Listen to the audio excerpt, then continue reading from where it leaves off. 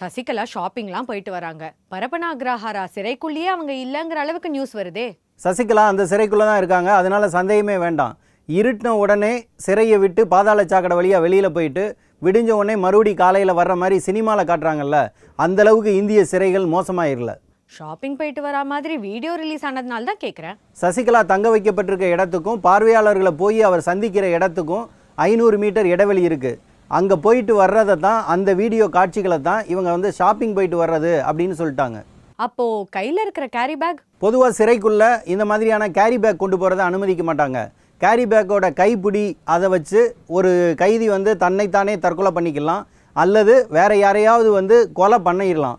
அதனால எல்லா பொருள்களையுமே பிரித்து பார்த்து வெறும் பொருளை மட்டும்தான் கொடுப்பாங்க.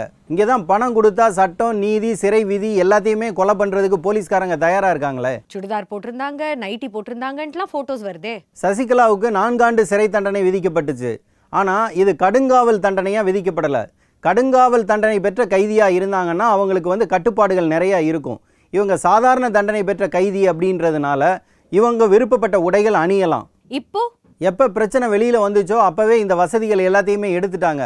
பணமும் போச்சு வசதியும் போச்சு. சசிகலாவை வேற மாநில சிறைக்கு மாத்துவாங்களா? அப்படி ஒரு சூழ்நிலை இல்லை. ஒரு குறிப்பிட்ட கைதியை இந்த சிறையில் வச்சு எங்களால் சமாளிக்க முடியாது அப்படின்னு சிறை நிர்வாகம் சொல்லுச்சுன்னா அதை வச்சு சில முடிவுகளை எடுப்பாங்க.